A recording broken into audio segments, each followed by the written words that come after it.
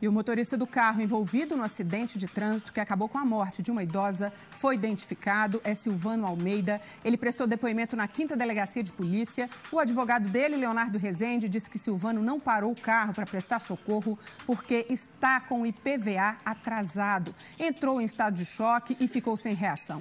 O advogado também defendeu que o motorista do táxi, onde estava a idosa, estava fazendo uma manobra ilegal e aí, por isso, teria sido aí a causa desse acidente. A gente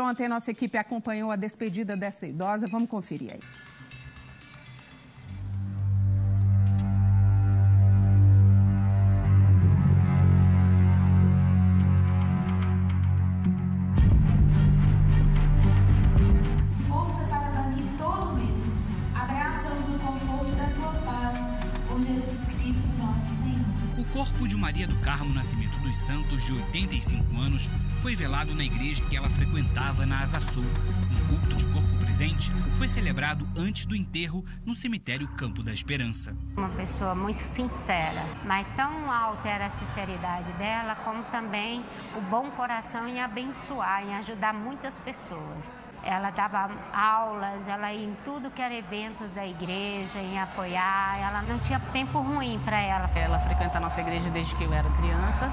Temos muitas coisas em comuns na fé e tem uma amizade muito longa aprendi é, muita coisa com ela, principalmente ela é uma mulher muito honesta, era muito rígida com questões é, de honestidade, de caráter. A filha da idosa conta que a mãe amava o trabalho que fazia como artesã na feira da torre. Nós éramos duas parceiras, eu bordava para ela, que ela tinha banca na torre, né? Que ela estava indo para lá. Eu até conversei com ela antes, desejando um bom dia, porque ela não dependia da torre para sobreviver, mas ela ia por diversão. Tinha gente que mandava ela parar, e se parasse, eu acho que ela morria, porque era a diversão dela. Maria do Carmo morreu depois que o táxi em que ela estava foi atingido por um carro em alta velocidade na manhã de domingo no eixo monumental.